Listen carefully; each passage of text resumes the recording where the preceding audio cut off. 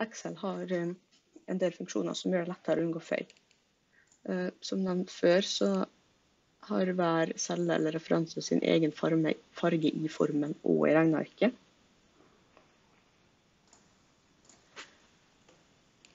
Eh, noen gang så kan det hende at de får opp en sånn grønn trekant oppi hjørnet der. Det er da en syntaksfeil. Det er ikke alltid det er feil. Akkurat i tilfellet her så er det jo det. En feil dere sikkert kommer til å få et par ganger, er hashtag ref.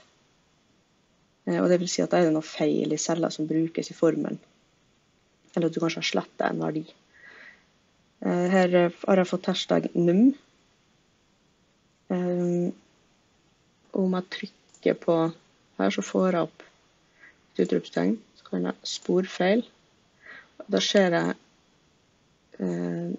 hvor hen i regnearket den cella her blir brukt, og hvilke verdier den bruker.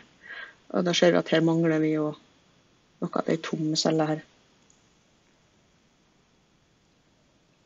Eh, det kan også gjøres manuelt ved å klikke i cella og spore overordna eller underordna nivå.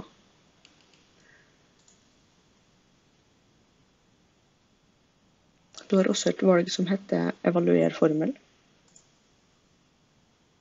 Der evaluerer vi hvert steg.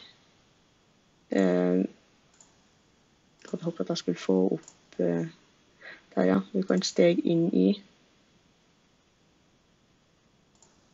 Og så kan Excel hjelpe deg med å rette opp